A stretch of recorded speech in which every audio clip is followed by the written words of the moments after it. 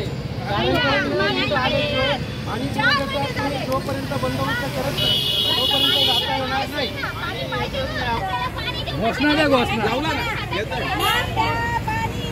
पाणी द्या पाणी द्या पाणी द्या पाणी द्या प्रभाग क्रमांक सव्वीसमधील संपूर्ण परिसरामध्ये गेल्या काही महिन्यांपासून कमी दाबानं पाणीपुरवठा होत होता.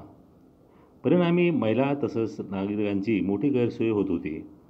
हा असंतोष वाढतच गेल्यानं प्रभाग सव्वीसमधील नागरिकांनी थेट राजीव गांधी भवनावर मोर्चा काढून अधिकाऱ्यांना विचारणा केली. यावेळी राजीव गांधी भवनासमोर मुक रास्ता रोको करण्यात आला.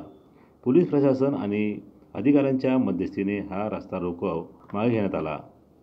गुड्डू शेख दिशानूज नाशिक.